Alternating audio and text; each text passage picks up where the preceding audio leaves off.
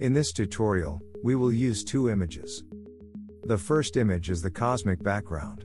A space scene with bright and dark nebulas, glowing gas and stars, is more appropriate for this kind of effect. The image used in this tutorial is from NASA, and is available for download on unsplash.com, using the link that is provided in the tutorial description. For the second image, I recommend you use a side portrait photo. The subject should be photographed against a monochromatic background, to make it easier to extract it in Photoshop. The image used in this tutorial belongs to Kimson Doan, and is available on unsplash.com. You can find the link in the tutorial description. Begin with loading the space background image in Photoshop. This image from NASA shows beautiful glowing gas of various colors, as well as dark nebulas. This is the kind of background we need to use. Now, let's add the portrait photo. Select File, Place Embedded, from the menu. Load the portrait photo, and place it over the background. Resize it and reposition it to your preference, and double click to confirm.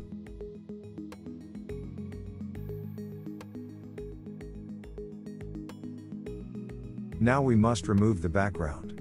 Photoshop and Photoshop Elements provide a range of different tools, such as the Quick Selection tool. In this tutorial I will use the powerful Subject Selection tool, available in the latest Photoshop versions. This tool does an amazing job. Click the Layer Mask icon, to mask out the background. At this point, we'll use an adjustment layer to darken the portrait. You can use the brightness and contrast, or the levels adjustment layers. In this example, I'll use Photoshop's exposure adjustment layer.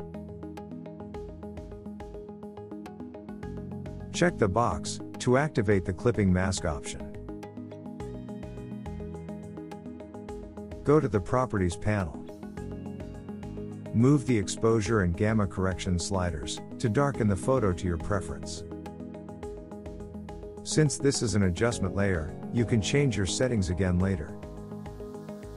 Now I will add a photo filter adjustment layer, in order to warm up the tones.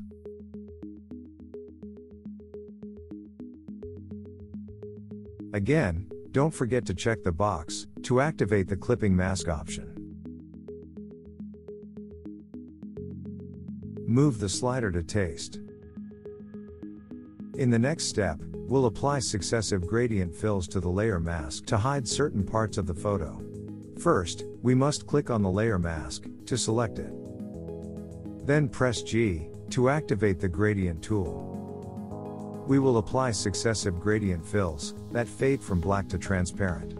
You can download and use the handy mask gradient fills, available for free on panosfx.com.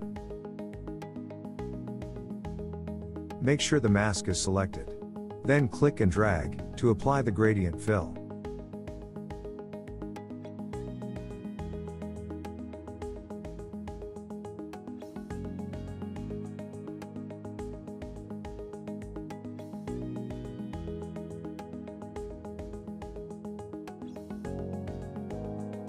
You can retweak the settings of the adjustment layers, at any point.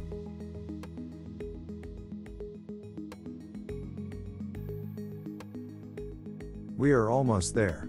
Now we will add a flare, to make it more beautiful. I'll create a new blank layer. I'll load my sparkles and flares brushes.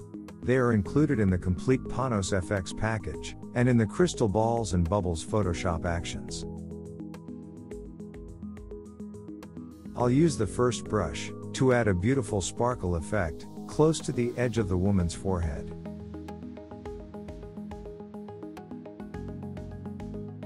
That's it. As you see, it's not difficult to get this effect done. And the results are impressive. Thank you for watching.